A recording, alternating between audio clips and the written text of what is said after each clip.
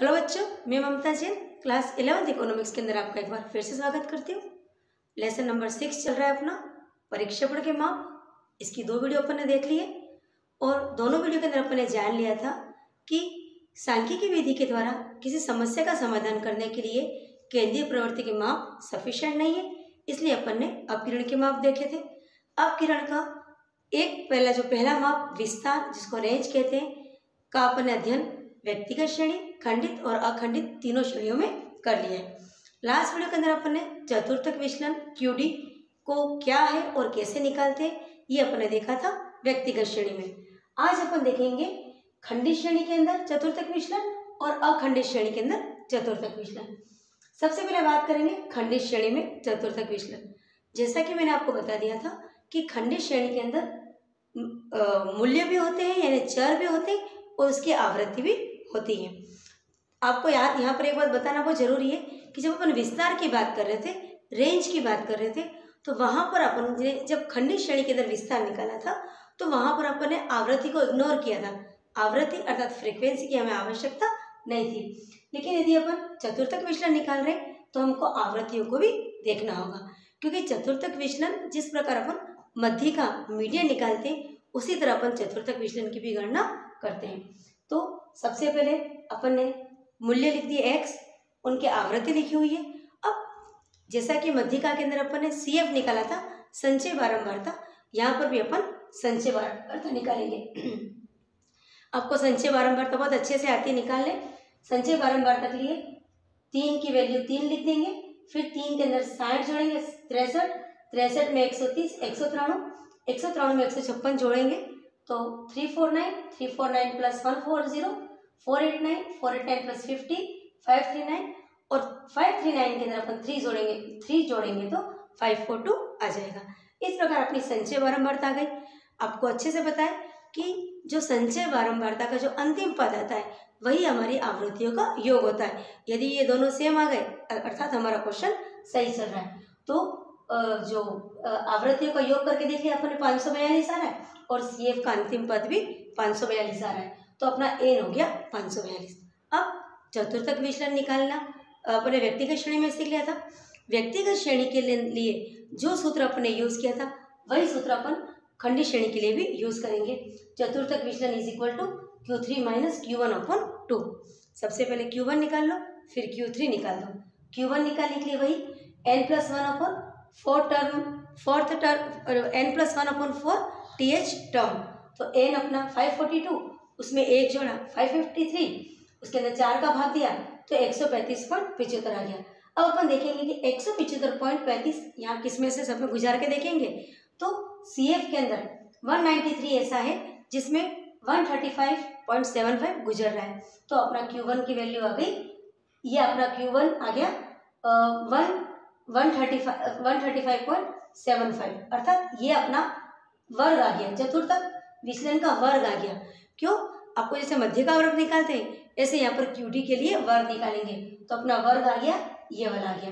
अब आगे बात करते हैं अपन। क्यू थ्री तो क्यू वन की वैल्यू आ गई one thirty five point seven five जो कि वन नाइन्टी थ्री के अंदर आया। इसी प्रकार अपना जो क्यू क्यू थ्री के लिए three n plus one upon four तो three n plus one upon four के लिए वही फॉर्मूला एन अपना जो एन क्या था अपना? Five forty two five forty two के अंदर एक जोड़ा तो फाइव फोर्टी थ्री उसमें थ्री का मल्टीप्लाई करके फोर का डिवाइड किया तो four zero seven point two five अब अपन ने दोनों के अंदर डिफरेंस कर दिया तो अपन ने देखा क्यू थ्री क्यू थ्री की वैल्यू आ गई अपनी क्यू वन का जो पद का मान गया पाँच और क्यू थ्री के पद का मान गया सेवन तो seven minus five upon two two में टू का डिवाइड किया तो वन अर्थात अपना जो चतुर्थक विचलन का मान आ गया एक. और जब अपन को कॉफिशियंट ऑफ़ क्यू डी जो इसका कॉफिशियंट निकालना है अपन को चतुर्थक विचलन का तो वही Q three minus Q one अपन Q three plus Q one तो दोनों का जो डिफरेंस था टू था. दोनों की सम ट्वेल्व थी. टू में ट्वेल्व का डिवाइड किया तो ज़ीरो पॉइंट सेवनटीन अपना कॉफिशियंट ऑफ़ क्यू डी आ गया. तो बहुत ही सिंपल है. जिस प्रकार अपन मध्य का निकालते हैं, वैसे ही करना है।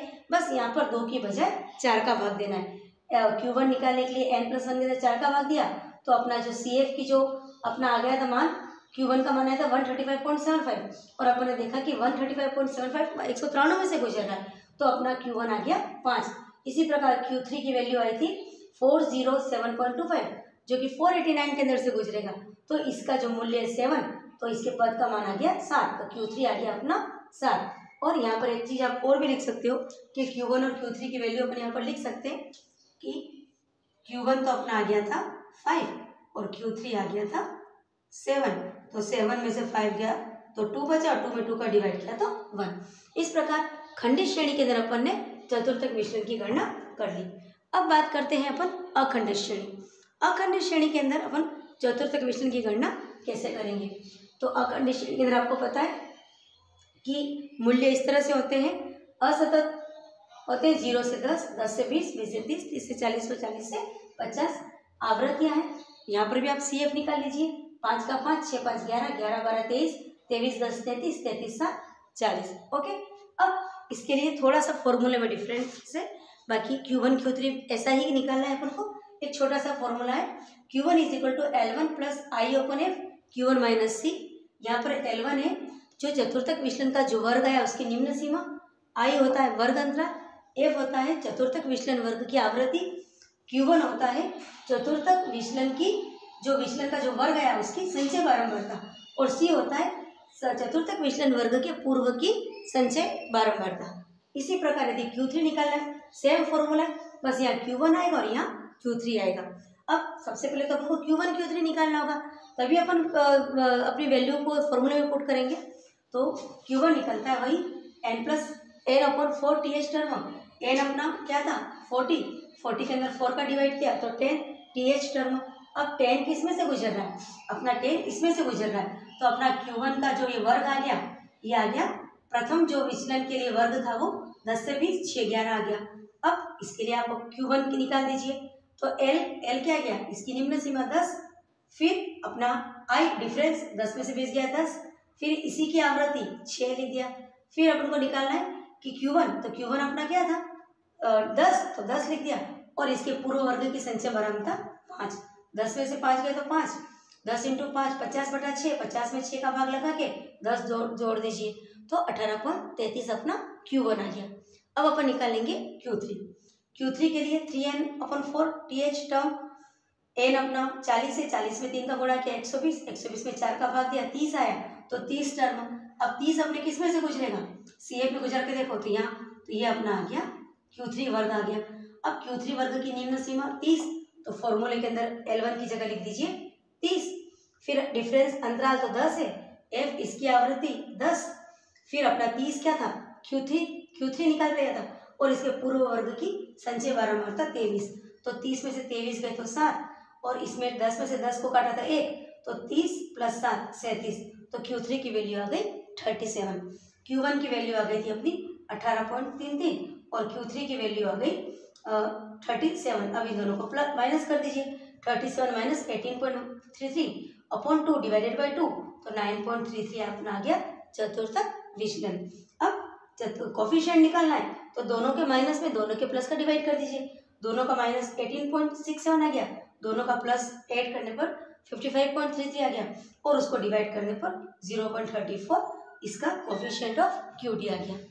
इस प्रकार चतुर्थक विचलन की जो बात अपनी थी अपन अपकिरण के माप पढ़ रहे हैं। अपकिरण के माप के अंदर सबसे पहले अपन ने देख लिया था विस्तार। विस्तार मीन्स रेंज रेंज का मतलब होता है अधिकतम मूल्य माइनस सबसे कम मूल्य। उसका डिफरेंस क्या कहलाता है अपना? रेंज कहलाता था। व्यक्तिगत श्रेणी में रेंज देख लिया, खंडित श्रेणी और अखंडित श्रेणी में रेंज हो गया। फिर लास्ट वीडियो से अपन ने चालू कर दिया था चतुर्थक विचलन क्यूडी क्यूडी चतुर्थक विचलन, जो कि श्रेणी को चार बराबर भागों में बढ़ता है। व्यक्तिगत श्रेणी के अंदर लास्ट बार देखा, आज अपन देख लिया खंडित और अखंडित श्रेणी के अंदर चतुर्थक विचलन। इस प्रकार अपना चतुर्थक विचलन भी कंप्लीट हो गया। अब अपना बचता है, अब किरण के माप के अंदर दो चीज़ और बचती है माध्य विचलन और मानक विचलन। तो अगली वीडियो के अंदर अपन पढ़ेंगे माध्य विचलन और मानक विचलन। तो आप मेरे नोट्स को अच्छे से देखिए, इनके न्यूमेरिकल को आप सोल्व करते रहिए ताकि आपको अच्छे से लेसन समझ में यदि आपका कोई डाउट है तो इसको कमेंट बॉक्स में दीजिए। Thank you